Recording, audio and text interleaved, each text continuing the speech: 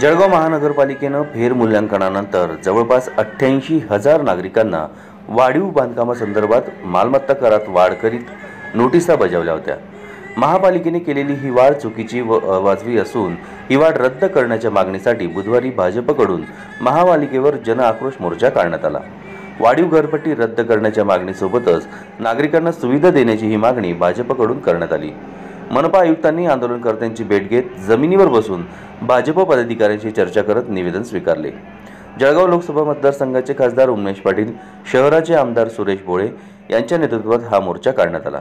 या मोर्चात महानगराध्यक्ष दीपक सूर्यवंशी डॉक्टर राधेश्याम चौधरी नगरसेवक कैलास सोनवणे डॉक्टर अश्विन सोनवणे ॲडव्होकेट सुचिता हाडा दीपमाला काळे विशाल त्रिपाठी जितेंद्र मराठे धीरज सोनवणे अरुण श्रीखंडे दीपक पाटील यांच्यासह भाजपचे अनेक पदाधिकारी व नगरसेवक मोठ्या संख्येनं उपस्थित होते.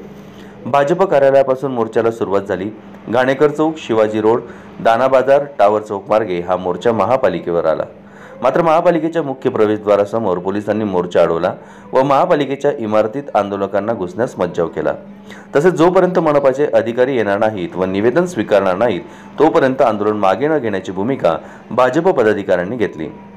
तसेच मनपाच्या पार्किंगमध्ये ठिया आंदोलन सुरू करत मनपा विरोधात घोषणाबाजी देखील करण्यात आली. या संपूर्ण आंदोलनाबद्दल खासदार उन्मेश पाटील यांनी आवाज मराठीला प्रतिक्रिया दिली आहे ती पाहूयात. शहरातल्या नागरिकांना वाढीव कर आकारल्याच्या तक्रारी आमचे आमदार आमचे महानगराध्यक्ष सन्मान्य राजूबा भोळे दीपजी सूर्यवंशी नगरसेवक यांच्याकडे आल्या होत्या त्या भावनेचा आदर करत लोकांच्या भावनेला त्या ठिकाणी कुठेतरी न्याय दिला पाहिजे म्हणून प्रशासनाला अर्ज केले. वेळोवेळी सूचना केल्या पण दखल घेतल्या जात नव्हती आणि म्हणून आंदोलनाच्या निमित्तानं आज वाढीव कर आकारणी चुकीची कर आकारणी तंत्रज्ञानाने चुकीची मोजमापणी झाली असेल त्या ठिकाणी लँड यूज जो आहे वाणिज्य निवासी चुकीचा आकारला गेला असेल या सगळ्या प्रश्नांना घेऊन आज त्या ठिकाणी प्रशासनाशी चर्चा केली.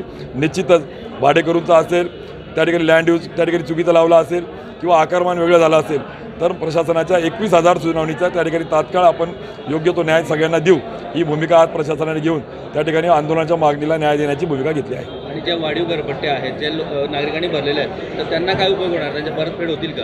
आणि ज्या चुकीच्या आकारल्या आहे त्या निश्चितच होतील. पण ज्या आकारणी योग्य आहे का नाही आकारणी योग्य होतील या अनुषंगाने आज आम्ही त्या ठिकाणी प्रशासनाला दिला आहे निश्चितच बेकायदेशीर झालं असेल तर चुकीचं होईलच खराब रस्ते जे आहेत त्या रस्त्यांसंदर्भात पण आपली आक्रमक भूमिका राहणार आहे. निश्चितच अमृत अभियानात मिळालेल्या निधीच्या अंमलबजावणी वेळेत करून आमचा त्या ठिकाणी आमदार राजूमामांच्या आदरणीय गिरीश भाऊंच्या मदतीने देवेंद्रजींनी दिलेले शंभर कोटी मला असं वाटतं की आता मिळालेल्या या निधीचा विनियोग आणि वेळेत झाला पाहिजे.